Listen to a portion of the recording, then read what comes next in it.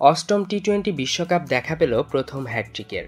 শ্রীলঙ্কার ইনিংসে পনেরোতম ওভারে কার্তিক মিয়াম্পান এই কীর্তি করেছেন সেই ওভারের চতুর্থ, পঞ্চম ও ষষ্ঠ বলে ফেরালেন ভানুকা রাজাপাকসে, চারিত আসালঙ্কা আর দাসুন সানাকাকে ফিরিয়ে এই কীর্তি করেন সংযুক্ত আরব আমিরাতের এই লেগ স্পিনার। পাওয়ার প্লেতে বাহান্ন আর দশ ওভার শেষে চুরাশি রান তোলা শ্রীলঙ্কা তখন ছুটছিল বড় স্কোরের দিকে। মাঝের ওভারে খুঁয়েছে মোটে একটি উইকেট। তাতে রানের চাকাও খানিকটা গতি হারিয়েছিল।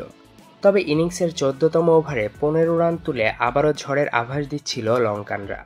এরপরই বলটা মিয়াম্পানের হাতে তুলে দেন অধিনায়ক রিজওয়ান। ওভারের প্রথম বলে দুই ও এর পরের বলে এক রান দিয়েছিলেন। পরের বলে ডট দিয়ে খানিকটা চাপ তৈরি করেছিলেন রাজাপাকসের ওপর। সে চাপটা সরাতেই চতুর্থ বলে জায়গা বানিয়ে কাভারের ওপর দিয়ে বল সীমানা ছাড়া করতে চেয়েছিলেন তিনি।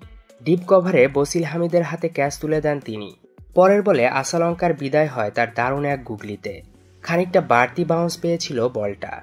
তাতেই সর্বনাশ হলো আশালঙ্কার। ব্যাটের কোনা ছুঁয়ে বলটা গিয়ে জমা পড়ে উইকেট রক্ষক বৃত্ত অরবিন্দের হাতে। এরপর দাসুন সানাকাকে তিনি বোল্ড করেন আরও এক দারুণ গুগলিতে। তাতেই প্রথম হ্যাট্রিকের দেখা পেয়ে যায় বিশ্বকাপ। পেয়ে যান মিয়াম্পান নিজেও।